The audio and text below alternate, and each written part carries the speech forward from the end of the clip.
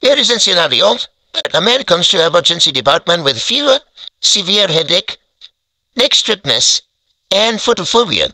On physical examination, he is found with no weakness of his left arm and leg. What is the most appropriate next step in management? As a patient is, is having fever, severe headache, neck stiffness and photophobia, so most likely he is suffering from that meningitis. The patient also has weakness in his left arm and leg, so he is having focal neurological deficit. And focal neurological deficit, the lumbar puncture is contraindicated.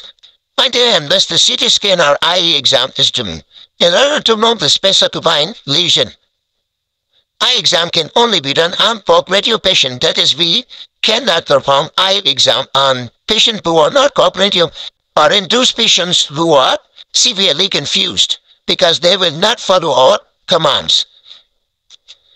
In this scenario, now their decision is between whether to use antibiotic therapy or CT scan first.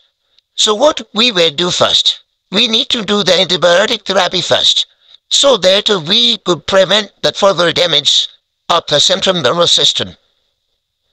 If we do CT scan first, so we might delay the antibiotic therapy and this might harm the patient. Once you started antibiotics, then you can proceed with that CT scan.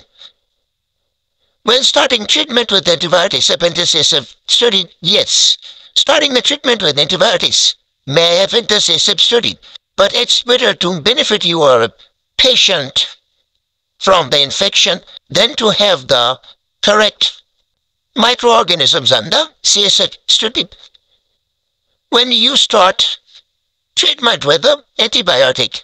So it may decrease the sensitivity and the CSF cancer. But again, better to treat than to have cellular microorganisms and cerebrospinal fluid. Do we have alternatives for the CSF study? Yes, we have alternatives. And these are the Gram staining and bacterial antigen detection.